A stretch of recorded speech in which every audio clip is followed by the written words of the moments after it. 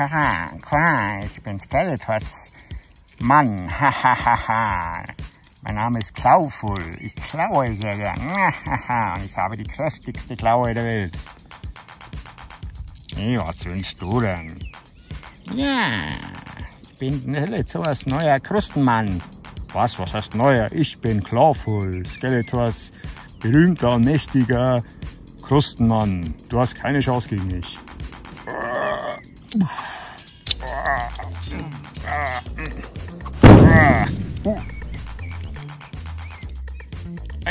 Oh nein!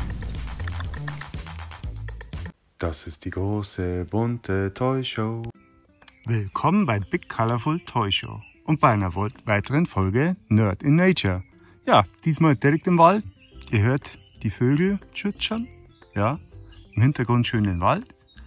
Und heute bringe ich euch Clawful, den Krustenmenschen. Und falls ihr mögt, liked doch mein Video, abonniert meinen Kanal, aktiviert die Glocke. Ich mache relativ oft ein Video, ja, so einmal die Woche ungefähr. Und dann seid ihr mal up to date. Die Geschichte.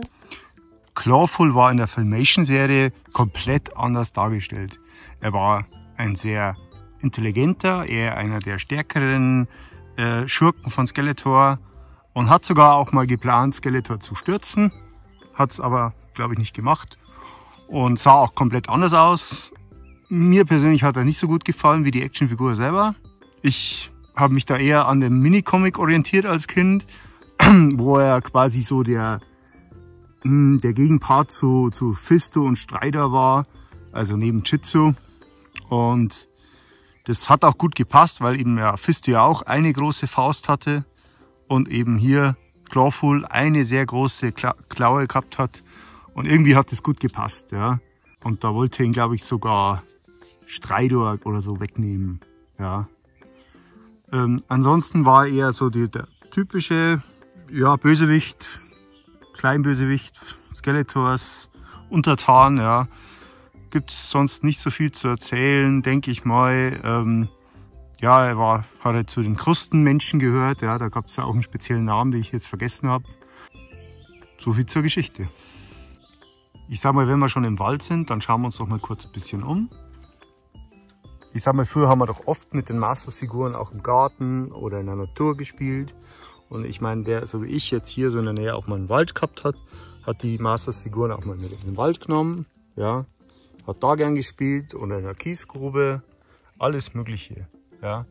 So hat es früher Spaß gemacht, weil das einfach ein realistisches Setting war und das war für uns Kinder natürlich gleich auch ganz was Tolles. Ja. So, hier wartet Clawful schon auf die Wilderdbeeren, die leider noch nicht gewachsen sind. Ja, ja muss er leider noch ein bisschen länger warten. Die Figur, mein Schatz. So, jetzt sind wir unter den Buchen gelandet. Hier wächst viel Moos. Clawful hatte sehr ein paar versteckte Details, wie zum Beispiel hier diese Noppen, die so hier über, übergegangen sind. Auch im Gesicht hatte er diese Noppen. Hier hat er diese markanten Augenbrauen. Ansonsten hier diese typischen Master of the Universe Beine und Arme. Dann die Klauen waren sehr schön modelliert. Ja.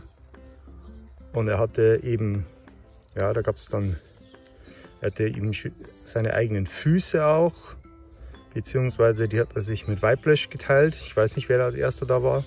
Und hier auch eben diese Klauen. Da ging er kaputt. So, jetzt sind wir raus aus dem Wald. Heute sind wir auch ein bisschen früher dran, deswegen gibt es noch keinen Sonnenuntergang. Natürlich hat er auch Clawful seine Probleme. Natürlich die Beingummis, wie bei den meisten. Ja. Und ja, die Waffe finde ich auch ein bisschen problematisch, weil er konnte sie eigentlich nicht so richtig nehmen. Action Features hat er einige. Also er hatte natürlich den typischen Power Punch. Sieht man das hier überhaupt?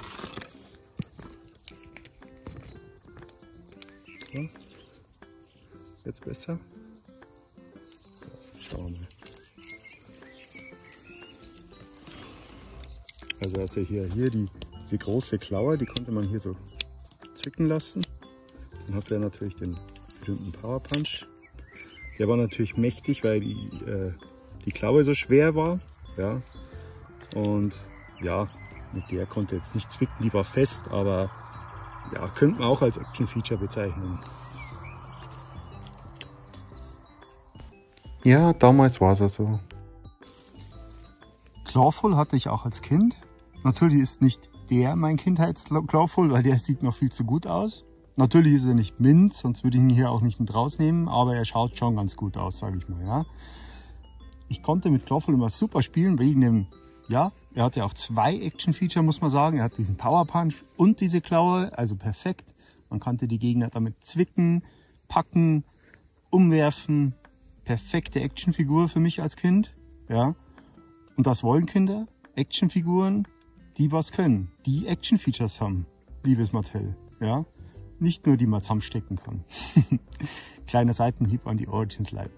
Naja, wir nehmen, was kommt. Wir sind ja auch keine Kinder mehr. Ich habe auch noch meinen Kindheitsklawful. Der sieht hier ein bisschen anders aus, nämlich so. Hier so ein bisschen bemalt, ja, der hat schon ein paar Kämpfe hinter sich, ja. Und ich glaube, den habe ich aber tatsächlich so gekauft, weil den, ich kann mich noch sehr gut erinnern. Es war tatsächlich eine der letzten Vintage Master of the Universe Figuren, wenn nicht sogar die letzte, die ich gekauft habe. Und zwar auf einem Flohmarkt. Ja, und ich war damals tatsächlich oft mal auf der Suche noch nach Master of the Universe Figuren. Aber bei uns in Bayern gab es nicht so viel, zumindest bei mir auf dem Land. Und deswegen, ja, habe ich dann nicht so viele gefunden. Dafür habe ich sie später selber verkauft. Ja, ein Teil, ein Großteil meine Burg und ein paar Sachen, ja, wo ich mir jetzt echt leid tue. Habe ich mir natürlich alles zurückgekauft, also von anderen Sammlern oder so. Genau, also hier ist mein Kindheitsklaufhol und da fällt natürlich gleich auf, er hat diese Standard Skeletor-Füße. Ja, das war nämlich die Variante von ihm. Hier ist übrigens auch schon die Hose gebrochen. Das ist auch so ein Schwachpunkt eigentlich aller Standard Masters of the Universe Figuren, ja. Aber dafür klappt hier das hier noch und auch der Power Punch ist noch aktiv. Zubehör ist alles verloren. Ja, was an meiner Figur hier seltsam ist, ist, er hat eine, ja, wahrscheinlich von Jitsu den Arm. Da normalerweise Clawful ja immer mit dem, dem Arm hier kommt. Ja, aber er passt also perfekt, würde ich sagen, von der Farbe. Und ich habe es auch mit meinem Jitsu verglichen, der ist viel käsiger. Also wenn ihr wisst, welche Jitsu-Version da so einen braunen Arm hat, ja, also ich weiß auch nicht, es wird sicher keine Variante von Clawful geben. Ich habe schon ein paar gefragt, ein paar andere Sammler, die kennen das nicht. Es wird vermutlich keine Variante geben mit so einem normalen Arm. Ja. Aber wer es könnte ja sein. Naja. Hier sieht man auch noch ein Problem, das ich vorher noch vergessen habe. Ja, die Bemalung an im Gesicht reibt sich oft runter, vor allem das Weiß ja, und die Augenbrauen. Ja. Da sieht man so gut den Unterschied. Ja, ja ich habe halt auch wirklich gespielt mit meinen Figuren. Aber ich muss sagen, ich bin ähm, froh, dass ich noch ein paar habe. Ja, die meisten habe ich ja nicht mehr. Und hier steht übrigens auch Mattel Incorporation 1900, hoppla, 1981, Made in France, falls jemand interessiert. Bei dem anderen müsste ich die Rüstung mal abmachen. Dann sehen wir es auch, was für Land. Hoffentlich geht es nicht kaputt. Ja, das ist auch so ein Problem bei diesen harten Rüstungen, die ich allerdings sehr gemochte, die Rüstungen. Da steht nur Mattel Incorporation 1981 und kein Herstellerland. Also weiß ich jetzt nicht, Malaysia vermutlich oder Taiwan. Ja, ich weiß es nicht. Ihr wisst es bestimmt. Ähm, der ist auch nicht ganz perfekt. Der hat hier so ein paar Spurchen, aber ihr seht die Bemalung, alles noch sehr gut. Ja, hier nochmal im Detail die Waffe. Die kam ja schon im Weapons äh, Rack Castle Grayskull und beim äh, Moosman war die dabei. Aber bei beiden eben ohne diesen Händel und eben auch in Braun oder in, in so einer Art Weißgrau. ja, tatsächlich habe ich immer oft mit dem Clawful gespielt und trotzdem schaut ihn an. Er ist noch da, er ist nicht auseinandergebrochen. Gut, die Füße muss ich zugeben, die sind ab. Natürlich der, Der, die Beingummis sind gerissen, die habe ich repariert. Ja, da wollte ich ja schon mal so ein Video, habe ich ja öffentlich gemacht und das war dann irgendwie ein bisschen blöd, weil ja, ich habe irgendwie die Hauptsachen nicht gezeigt, ja. Ich werde es mal, anders versuchen und dann nochmal alles im Detail zeigen, ja. So. Ja, so viel zu meiner Kindheit. War auf jeden Fall einer meiner Favoriten und ich mochte ihn sehr gerne.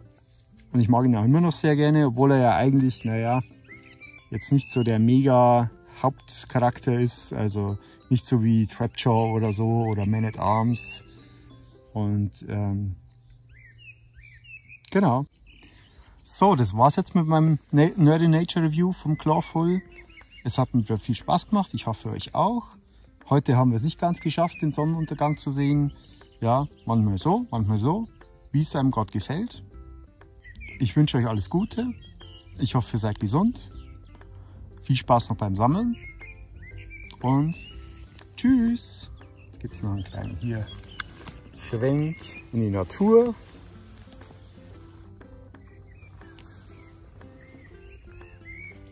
Ja.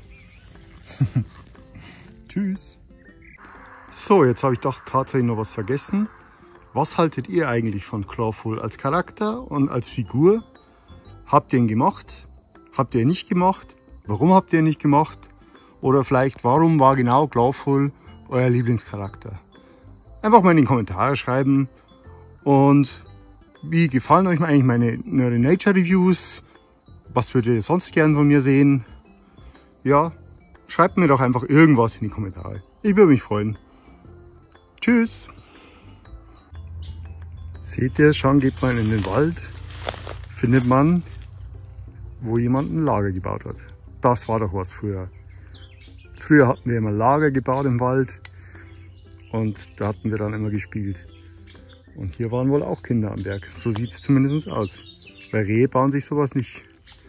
Na, Klaufvoll, da würdest du doch auch gerne gleich spielen. Äh, ja, ja, ja, ich würde da gern spielen.